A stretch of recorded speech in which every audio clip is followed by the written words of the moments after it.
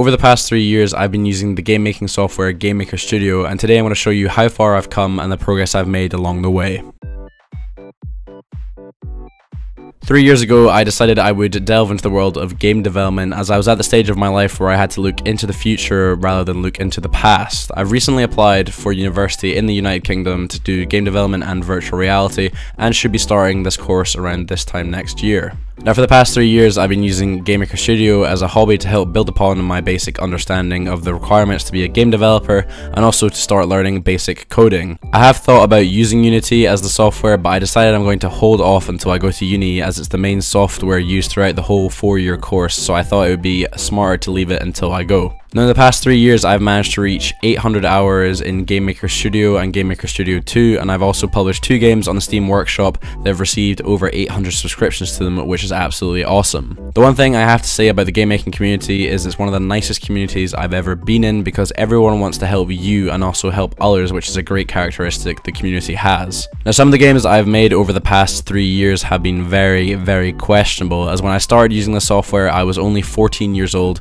and was no better than a young that just jumped straight into the game development world. But I do have to say to all aspiring new game developers, making bad and unfinished games is never a bad decision, as through the process of making that game, you're actually learning new things that you can bring into your future projects and can also build upon the mistakes that you've made in that project. Now after making these games for around one to two years, I finally decided it was time to focus more on one project instead of toying with the idea that I could actually make four projects at once, which is pretty much impossible for anyone that is new to game development. So I decided that I would make one game, and one of the huge inspirations for the game that I am currently making is Dying Light and Diablo. Now of course these are AAA games and I'm using a 2D game engine to program a game, but I decided I'd cross over the two genres of uh, the games and make a top-down shooting game with zombies as well as a yet to be implemented RNG system. Now if you guys don't understand what that means, it's basically just going to be a game where you can run around and farm zombies to get higher tier loot or weapons or gear that you can use to fight higher bosses. So starting this process was actually very hard as my attention span to focus on one game was very weak compared to how I was when I was actually working on four games as I had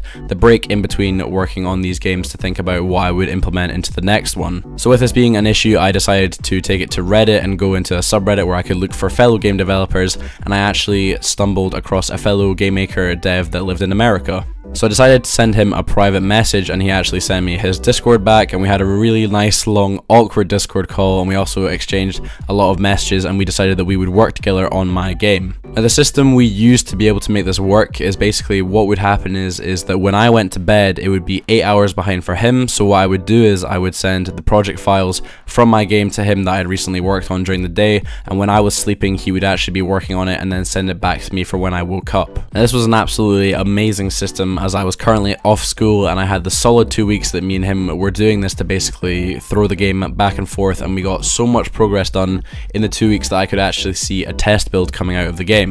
Now unfortunately, due to personal circumstances, he actually had to leave the development of the game, which left me again working with my bad attention span on the game by myself. But since then, I've been working on the game a little bit slower and I've actually been enjoying it a lot more as I've become a lot more mature and have been able to concentrate on working on the game a lot longer. Now I do have some big future plans for the game. I have a lot of things that I want to get done as I want to get networking so you can play with other people and your friends and I also want to be able to implement the loot system as well as start working on mapping and art. So the project scope for my game is pretty big, but I do hope that I can get, there in the end. And also, if you guys have any suggestions for what you'd like to see in the game, feel free to go and leave them down in the comments, as I would love to take some on board. Another topic I want to cover is how I actually started developing games, because coding to start off with can seem like an absolute alien language to some people. So what I did is, is I googled exactly how do I make my first game in Game Maker Studio. Now one of the first videos that pops up is actually a tutorial from Heartbeast, who is a fellow Game Maker Studio content creator,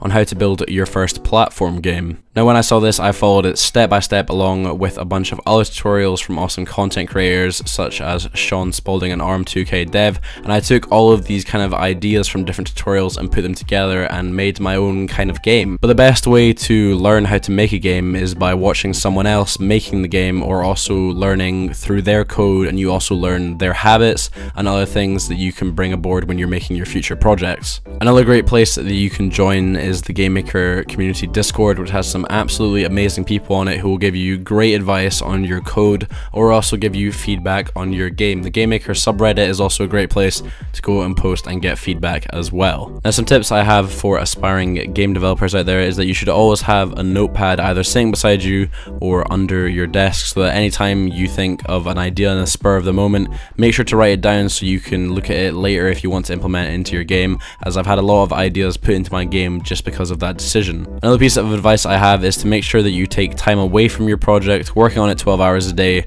non-stop is not the right way to do it. Occasionally taking a two day to one day break can be really beneficial as it gives you time to clear your mind and not constantly worrying about having to add new things into your game or meeting deadlines. Now a great app you can use to keep track of what you have to work on and also what you want to add into your game is Trello. It's basically a service where you can set up your schedule for the week and what you want to achieve by filling it out and saying when it's completed. And I know a lot of game developers use it to keep track of what they're doing. But apart from that, the only thing I have to say about game development is that it is a choice and that it is a hobby, so don't feel like you have to stress yourself by doing it all the time. Just enjoy what you're doing and enjoy making games. And also make sure to surround yourself by the community as they're really nice and will do everything to help you and be nice to you. And that is my three year story in game development. I hope you guys enjoyed today's video. Make sure to go and follow me on Twitter to stay updated with all the stuff I do with my game and also make sure to go and subscribe so you are notified every time I post a new video. But thank you so much for watching today's video and I will see you in the next one. Bye bye.